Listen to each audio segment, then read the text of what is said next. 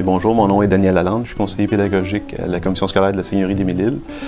Euh, le rôle du conseiller pédagogique, c'est euh, de faire de l'animation, entre autres, lors de journées pédagogiques, lors de colloques, euh, dans des rencontres matières. C'est aussi de donner de l'information, de la formation sur les programmes en vigueur.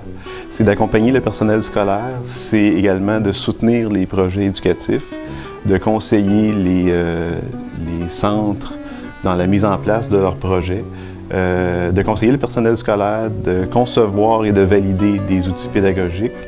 C'est aussi rédiger des avis. Et finalement, euh, c'est me tenir à l'affût de toute nouveauté au point de vue de la pédagogie, euh, des recherches.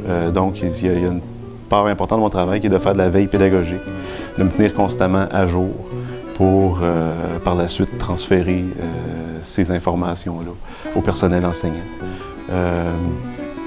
c'est une grosse partie de mon travail. Moi, j'ai euh, un baccalauréat, en, sciences économiques.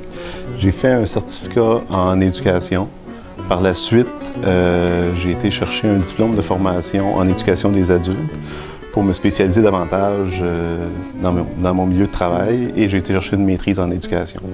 Dans quelques semaines, je vais commencer également un, un programme court en sciences technologies pour accompagner les enseignants de sciences et de technologie.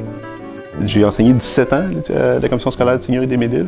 Et de ces 17 ans-là en mathématiques, j'en ai passé une dizaine dans un petit centre pour accrocheurs. Ça a été, euh, ça a été très intéressant comme, euh, projet.